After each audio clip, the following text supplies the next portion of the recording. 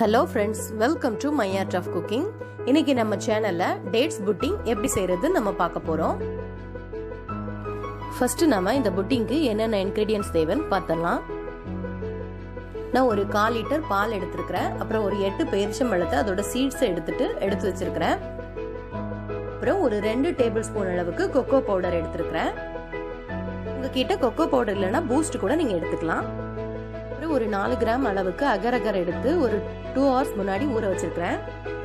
அப்புறம் ஒரு ரெண்டு டேபிள் ஸ்பூன் அளவுக்கு சுகர் எடுத்திருக்கிறேன். அகர் அகர்ங்கிறது வேற ஒன்றும் இல்லைங்க கடல் பாசி தான். அது நமக்கு கடையிலேயே கிடைக்கும்.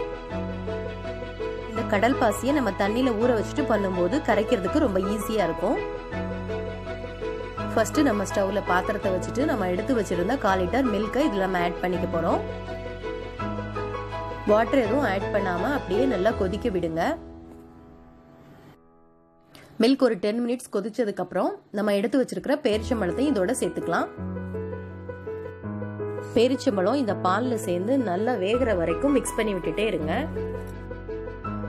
பேரிச்சம்பழம் ஓரளவுக்கு குக்கானதுக்கு அப்புறம் நம்ம எடுத்து வச்சிருக்கிற சுகரையும் இதோட நம்ம ஆட் பண்ணிக்க போறோம். நான் ரெண்டு டேபிள் ஸ்பூன் அளவுக்கு சுகர் எடுத்துருக்கிறேன். ஏன்னா பேரிச்சம்பழத்தையும் ஆல்ரெடி நமக்கு சுகர் இருக்கும்.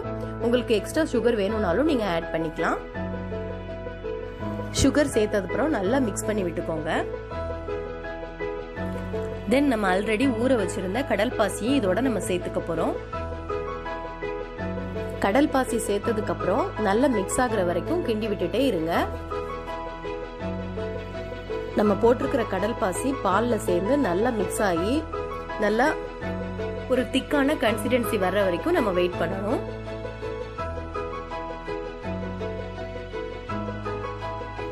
ஃபைனலாக நம்ம எடுத்து வச்சிருந்த கொக்கோ பவுடரையும் இதோட நம்ம ஆட் பண்ணிக்கலாம்.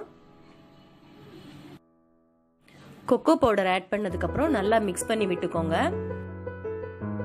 இந்த கொக்கோ பவுடர் நம்ம ஆட் பண்ணுறதுனால ஒரு சாக்லேட் ஃப்ளேவர் நமக்கு கிடைக்கும். டேட்ஸ் யூஸ் பண்ணி இந்த புட்டிங் பண்ணுறதுனால சாப்பிட்றதுக்கு ஒரு ஹெல்த்தியும் கூட அதோட நம்ம கொக்கோ பவுடர் சேர்க்கறதுனால ஒரு சாக்லேட் சாப்பிட்ட ஃபீலிங்ஸ் குட்டீஸ்க்கு வரும். ஸோ இது நம்ம அடிக்கடி ட்ரை பண்ணலாம். இப்போ ஸ்டவ் ஆஃப் பண்ணிட்டு இந்த ஹீட்டோடையே நம்ம ஒரு மிக்சி ஜார் எடுத்து அதுல நம்ம இதை மாத்திட்டு நம்ம அரைச்சி எடுத்துக்க போறோம். நம்ம ஆற விட்டுட்டோம்னா கடல் பாசி எல்லாம் கட்டியாக ஆரம்பிச்சிரும். ஸோ நம்ம ஹீட்டோடய அரைக்கணும். ஆனால் நம்ம அரைக்கும் போது ரொம்ப கேர்ஃபுல்லாக அரைக்கணும். ஹீட்டோட அரைக்கிறதுனால கையில் எதுவும் தெரிக்கிறதுக்கு வாய்ப்பு இருக்குது ஸோ ரொம்ப கேர்ஃபுல்லாக பண்ணுங்க. ஃபைனலாக ஸ்கொயர் ஷேப்பில் உள்ள ஏதாவது ஒரு பவுல் எடுத்துட்டு அதில் அரைச்ச இந்த பேஸ்ட்டை மாற்றிடுங்க ஒரு ஃபிஃப்டீன் மினிட்ஸ் ரூம் டெம்பரேச்சரில் வச்சுட்டு அதுக்கப்புறம் ஃப்ரிட்ஜில் ஒரு ஆஃப் அன் ஹவர் வச்சு எடுத்தால் போதும். நம்மளோட டேட்ஸ் புட்டிங் ரெடி ஆயிரும். இந்த மாதிரி ஒரு லிட் போட்டு கவர் பண்ணி வச்சிருங்க. இப்போ ஒன் ஹவர் ஆயிடுச்சு ஓப்பன் பண்ணி பாருங்க.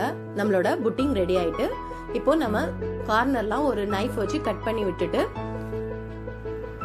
ஒரு பிளேட்ல இந்த மாதிரி ஸ்டிஃப் பண்ணி எடுத்துக்க வேண்டியதான் பிளேட்க்கு மாத்தினதுக்கு அப்புறம் சின்ன சின்ன பீசஸா கட் பண்ணி எடுத்துருங்க.